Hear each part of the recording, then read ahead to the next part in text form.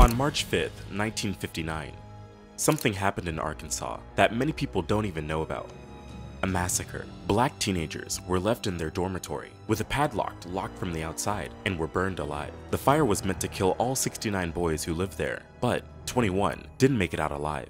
Nobody ever knew it existed because of uh, the ability of the state of Arkansas to do such a fantastic job at covering it up. Even now, decades later, there is still no official cause of the fire. Officials in Arkansas turned a blind eye to forensic evidence and never sought justice. But one thing has changed since then. More than 60 years later, the boys finally have a memorial. This is the story of the young black teenagers who were most likely killed by white supremacy. In the 1950s, the history of American boarding schools was diverse, but never equal. This was when schools started accommodating the baby boom and expanding middle class and desegregation. In the post-war era, boarding schools across the country were used for various purposes. These schools weren't just meant to educate or discipline children, they were also used as a way to keep white children away from African Americans. During this period, the level of people's education depended on their race, and there were various boarding schools for different races. Not many of these institutions had multiple races. Now, when I mean discipline, I mean a different kind of discipline than what we use today. Paddling and smacking children was common. Teachers could pull your hair, harm you, smack you, or even use the dunce cap method to humiliate you. These were all common methods for teaching children how to behave. In the South, schools were designed to oppose racial integration strongly. Between 1952 and 1962, numerous schools were constructed in rural areas, specifically for African American students. The state itself built approximately 500 primary and secondary schools, ensuring that each county had one well-equipped school for white students. These white schools were bigger and more technologically advanced than African American ones. They offered an enhanced academic curriculum with greater emphasis on mathematics, science, and vocal training. Industrial schools were designed to educate, employ, and reform juvenile offenders. But the differences between segregated white reform and black reform schools in Arkansas couldn't have been more obvious. White institutions were mainly designed to educate teenagers, here, the staff treated the boys like students and taught them practical skills that would later come in handy when they were to seek work, such as carpentry or metalwork. But the boys at Arkansas Negro Industrial School weren't so lucky. Arkansas had two such juvenile correctional facilities, one in Jefferson County and the other in Wrightsville, just southeast of Little Rock. I mean, you probably heard about Little Rock, the Little Rock Nine.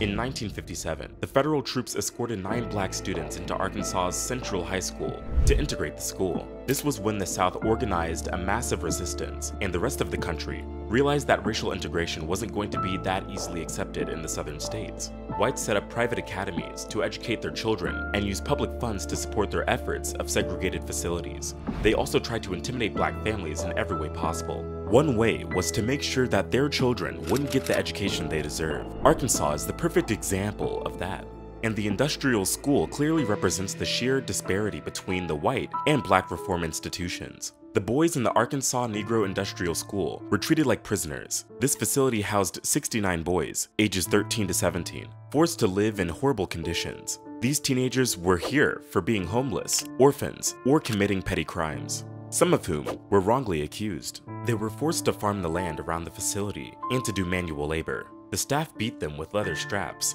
and they left them to go on for days, wearing only rags. The boys didn't even have access to a toilet, they were using buckets instead. More than half of them didn't wear underwear or socks, and it was not uncommon for the teenagers to go for weeks without changing clothes or bathing. The water at the facility was also deemed undrinkable. Their living quarters were cramped, with no place to breathe, the boys lived in a building constructed in 1936 under the Works Progress Administration, which Time magazine characterized as unstable or shaky. Systemic poverty, brought by white supremacy, sealed the fate of these boys. Racially disparate treatment permeated the United States criminal justice system. Wrongful convictions were a common practice, and lynching led to the deaths of thousands of black people. This was the Jim Crow South, which profoundly impacted Arkansas's history and many lawyers would capitalize on African American victims, especially the school desegregation crisis. Here, very few white Americans wanted to live equally with black people. During the period of Reconstruction, states located in the southern region of the United States were placed under military control by the government. The Reconstruction caused numerous changes, such as giving rights to black Americans to vote, giving rights to US citizenship to formerly enslaved black people, the ability to open up black churches, and better access to farmland and education. But when the Reconstruction was over, the South was not having it. They quickly took these freedoms and rights away. It was in their power to do so because the federal government governs the United States from Washington, D.C., but the state government holds huge authority over matters in their respective regions, such as education. Here's how it works. The federal government has national powers. Federal laws apply to everyone in the US. Local and state laws apply to the people who actually work and live in a particular state or territory. In a state like Arkansas, the governor would be responsible for making decisions. Orval Faubus was the 36th governor of Arkansas from 1955 to 1967. Now, this is the governor who ordered the Arkansas National Guard to block the entrance to the Central High School to keep the Little Rock Nine from entering the school. He was the same governor who was in office during the dormitory fire on the morning of March 5, 1959. While people were enjoying gospel music on the radio, a breaking news bulletin interrupted the program.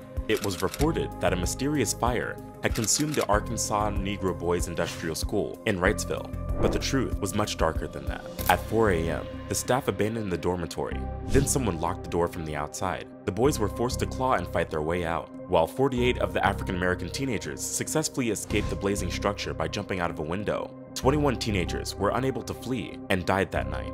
When you take a look at the building's diagram, you can see that even if there were a few doors in the facility, there was only one front door, and that one was locked. The boys that remained stuck inside were tucked into the back corner of the building and were burned alive. A couple of years ago, CNN did a story on Frank Lawrence, who has been trying to solve Arkansas's biggest mystery for years. The 48 boys who did survive found a way to break free by removing the metal screens from two windows. The shocking incident captured the public attention for a brief time. It also brought attention to the miserable conditions these teenagers lived in. Lawrence explained that the 69 boys would sleep in a cramped space with very little room to move. They had just one foot of distance separating them, and they only had a 30 gallon water tank to bathe themselves.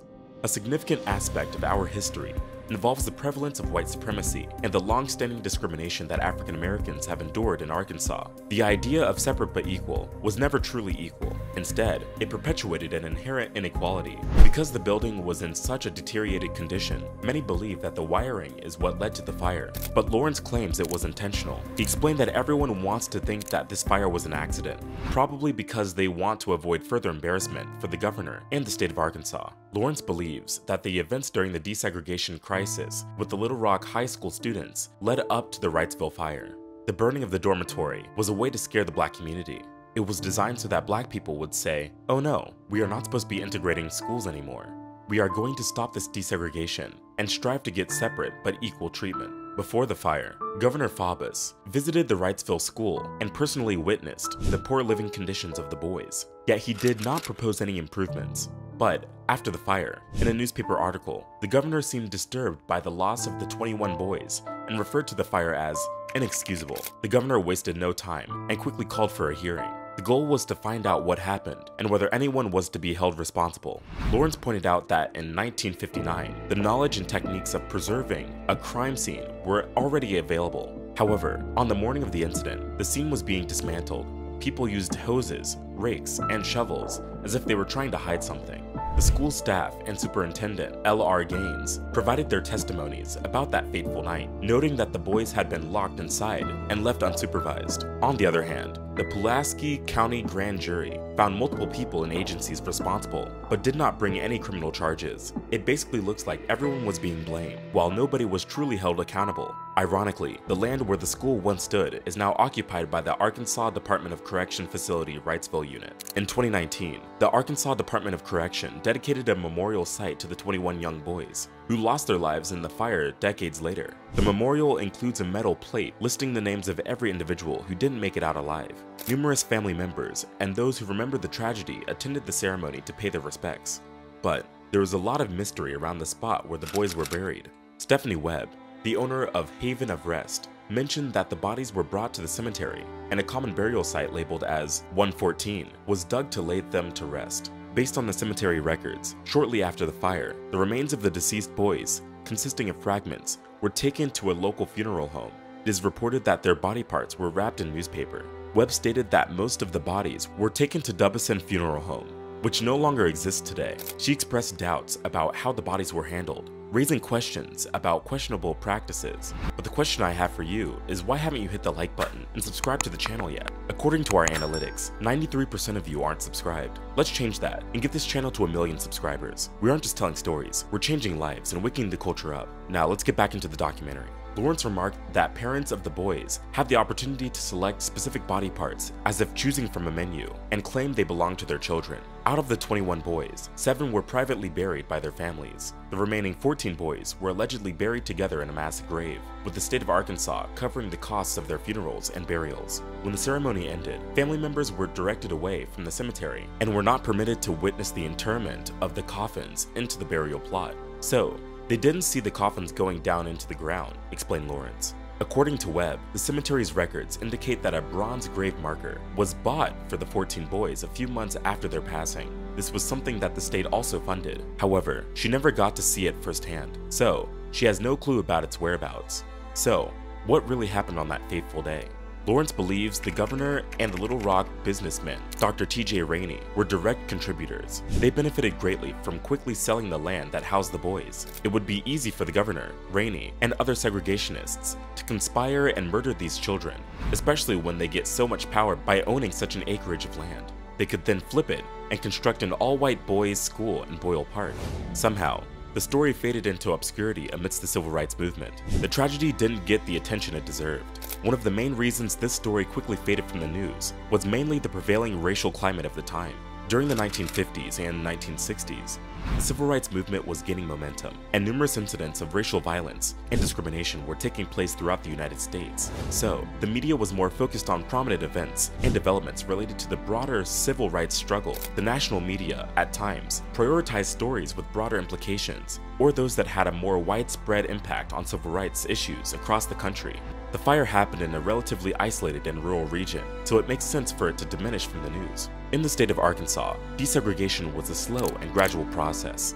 To understand segregation and desegregation in Arkansas, we must take a different approach than other southern states. The segregation process varied based on the area, the number of white to black residents, and whether or not these people lived in urban or rural settings. Desegregation involved a number of challenges and a lot of failures. White Americans were still terrorizing and trying to control black people in the early 20th century. It was still a black and white world. From 1882 to 1968, more than 4,700 lynchings took place in the United States. But many historians believe that the real number of black people lynched remains underreported. White mobs often tried to use questionable criminal accusations as a justification for carrying out lynchings. One common allegation was charging a black man for sexual assault against a white woman. Charges of rape were frequently fabricated, serving as a means to reinforce segregation and perpetuate stereotypes portraying black men as violent and overly sexualized aggressors. Black people were also accused of murder, robbery, arson, and vagrancy. Many victims of lynching were brutally murdered despite not being accused of any specific crime. They were killed as a result of violating societal norms or racial expectations, such as speaking to white individuals with a perceived lack of respect that contradicted what white people believed they were entitled to. In 1959, when the Wrightsville boys were burned alive, was a period when segregation was still going strong. It was a long struggle for freedom. A year later, students initiated sit-ins at racially segregated lunch counters across the southern states, intending to end segregation. This marked one of the early indications of increased youth involvement that would define the civil rights movement in the 1960s. Young black activists formed the Student Nonviolent Coordinating Committee, SNCC, to desegregate public facilities and facilitate the registration of black voters. Students also played a pivotal role in the freedom rides organized by the Congress of Racial Equality, CORE, and later by SNCC. In 1960, the Interstate Commerce Commission mandated the desegregation of buses and station facilities along interstate lines. To put this legislation to the test, CORE and SNCC orchestrated a series of freedom rides. These rides involved racially mixed groups of people boarding buses from the north and attempting to travel through the south. The Freedom Riders defied segregation laws by sitting wherever they pleased on the buses and sought to integrate stations that were legally prohibited from discriminating against black individuals. In states like Alabama and Mississippi, the buses were subjected to violence. They were stoned and set on fire. Angry mobs also attacked the riders, and many were arrested. Much of this brutality was captured on film and broadcast on television news, despite the fact that many reporters and cameramen themselves were targeted and physically assaulted. In addition to desegregating lunch counters and bus stations, the civil rights movement also aimed to change the American education system. The movement played a critical role in pushing for the enforcement of desegregation orders and ensuring equal access to quality education for black students. Activists, including parents, students, and community leaders, engaged in protests, boycotts, and other forms of direct action to advocate for equal educational opportunities. As a result of these efforts, school districts across the United States were compelled to integrate their schools, allowing black students to attend previously all-white institutions. This shift aimed to provide equal educational resources, facilities, and opportunities for black students, challenging the discriminatory practices that had long hindered their academic progress. The Arkansas Dormitory Fire of 1959 left a lasting impact on the history of racial injustice and the fight for civil rights. Even though it quickly faded from the news, this tragedy claimed the lives of 21 black teenagers. It served as a tragic reminder of the ongoing struggle for equality and justice. The fire, along with other events of racial violence during that era, fueled the determination of activists and organizations to challenge segregation, fight for equal rights, and pave the way for significant changes in the American education system. This is the kind of event that should have been taught in school. Another story that they should have taught in school is the Scottsboro Boys case. The nine young black teenagers from Alabama had their lives ruined after getting accused of two white women near Scottsboro. We covered this case in a recent documentary. Click the video on the screen to watch it. We'll see you over there.